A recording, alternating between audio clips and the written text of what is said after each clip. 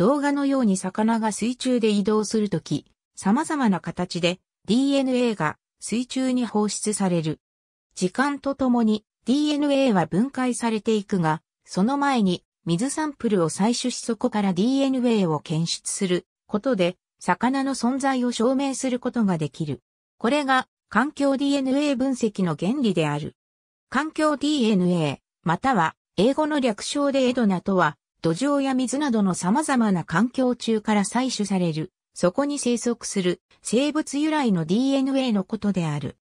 環境 DNA を解析することで、その環境に生息する、または過去に生息していた生物を網羅的に特定したり、ある特定の種が生息しているかどうかを判定できる手法が開発されており、保全生物学、生態学、系統分類学、微生物学、古生物学などの分野の研究に利用されている。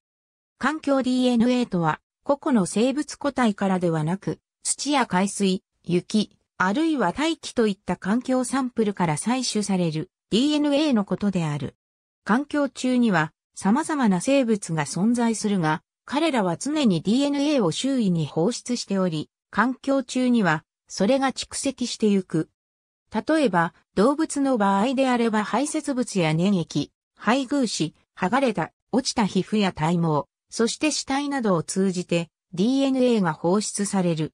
そうした DNA サンプルは、ハイスループットな DNA シーケンシング技術によって網羅的に分析することが可能である。それにより、ある特定の種がその環境に存在するかを調査できるだけでなく、環境中に存在する生物種を網羅的に特定したり、メタゲノミクス解析を行うなどして、その環境の生物多様性を迅速に把握することができる。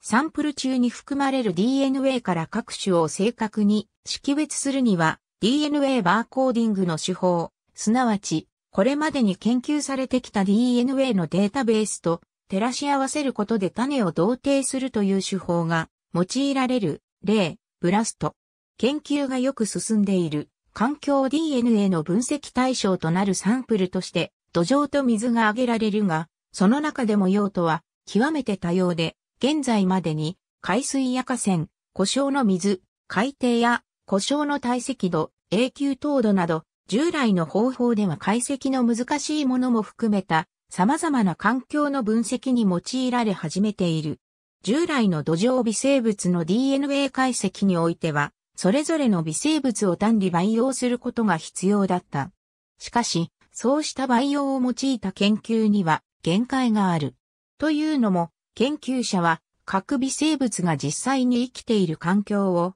再現しようと試みてはいるものの、多くの微生物は研究室内で培養するのが困難であるからである。そのため単理培養を必要としない環境 DNA を用いた研究は土壌微生物の研究において非常に重要なツールになることが期待されている。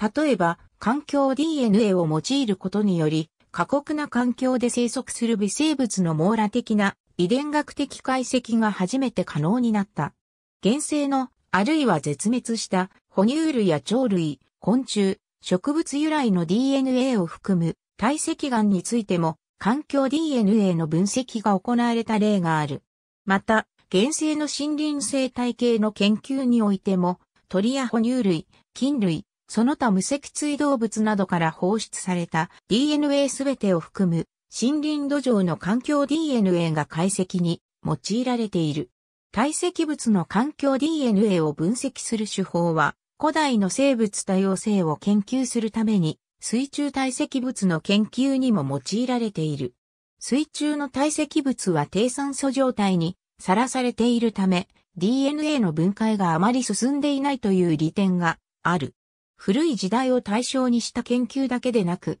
現在の生態系を対象にした解析についても、比較的高い感度で行うことができる。通常の水サンプルは DNA の分解が比較的早く進んでしまうが、水中の堆積物を利用した方法なら、ある生物が存在した2ヶ月後であっても、解析に耐える DNA を得ることができる。水中における堆積物の研究についても環境 DNA の研究は有用だが、水自体からそのまま環境 DNA を採取する手法も現在では研究に用いられている。環境 DNA にまつわる技術が開発される以前は、水環境の生態系を研究する手法は、網や罠などの方法によって生物を直接採取する方法が中心であり、高い技術を持った人材や大きな費用、そして長い時間が必要とされていた。一方、環境 DNA の分析に必要なのは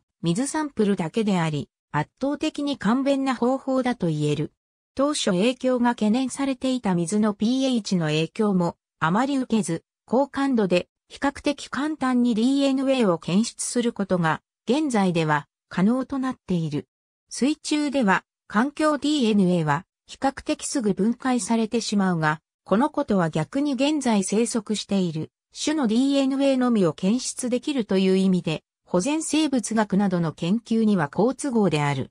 水中に生息する生物の DNA の他にも、森林の水場から、そこで水を飲んだり水浴びをした陸生哺乳類の DNA を検出できることも報告されている。降雪地帯の野生動物研究者の間では、研究対象の生き物の遺伝学的情報を集めるのに、雪から抽出した環境 DNA が用いられている。足跡のついた積雪から採取した DNA を分析することで、北極熊や北極狐、大山猫、クズリといった動物の存在を裏付けることができる。環境 DNA は現在では様々な生物種のモニタリングに役立っている。これまでに環境 DNA の分析により水草、魚類、以外、菌類、そして寄生虫といった様々な系統の生物を環境中から同定する試みが成功している。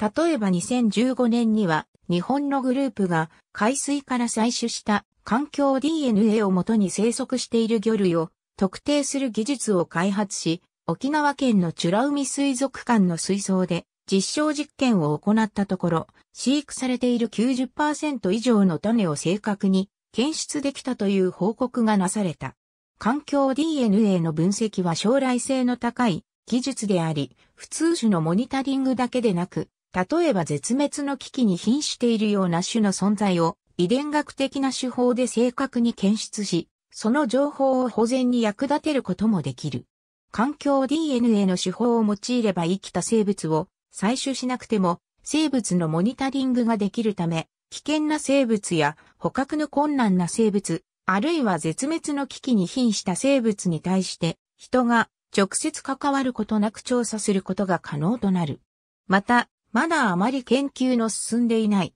生物種について個体群サイズやその分布、個体群動態といった情報を収集するのにも環境 DNA の分析は非常に有用である。環境 DNA を用いた解析は感度が高く、ある種の存在を証明するデータを取るのにも、土や水のサンプルを採取するだけで済みあまり労力がかからないことから、個体数の少ない生物を研究するのに特に有用である。特に近年では DNA-CE 検ング技術が飛躍的に発達しているため、採取後の解析もより安価に効率的に行えるようになっている。環境 DNA の検出においては、生息数の少ない生物を能動的、あるいは受動的に検出することができる。能動的な検出においては、ある特定の種、あるいは分類群を対象に非常に感度が高く、かつ特異性も高いリアルタイム PCR などで